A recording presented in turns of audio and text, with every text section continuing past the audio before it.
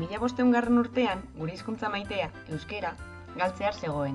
Gorbeia mendian, baserri zibernetiko batean, ahotsu, gure ahotsu, bizi zen. Azken urteetan, bere osasuna poliki-poliki hautzen joan zen, eta zoritxarrez, inork ezekien nola sendatu ahotsu.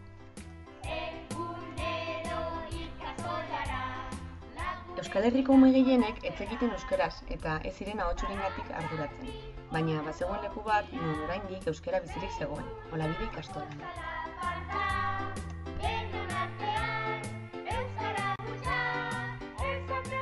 Egun batean, lagun talde bat elkartu zen ahotsuri buruz hitz egiteko.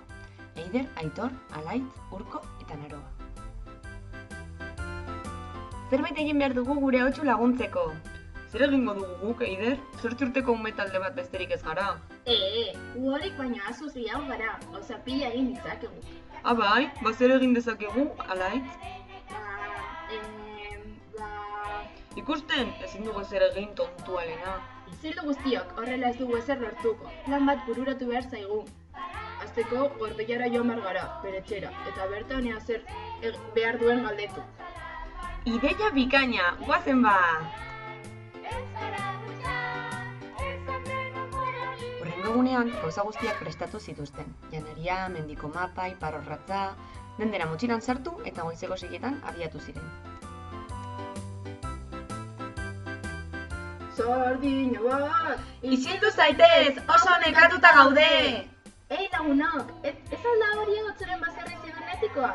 Egia da, iritsi gara! Haupa gu! Aupa!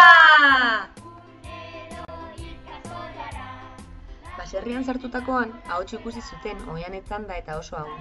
Bera sendatzeko hainbat zailekera egin ondoren, ez zitzaien ezer gehiago bururatzen. Pero ahotsu, ¿qué te pasa? Ahotsu, por favor, di algo! Ahotsu begiak itxi zituen guztiz nekatuta, baina bat batean... Ahotsu mesedez, ez zaitez hil! Euskara! Euskara da zendatzen duena!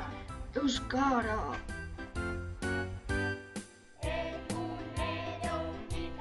Orduan, ume guztiak batera Euskal abestiak abesten hasi ziren.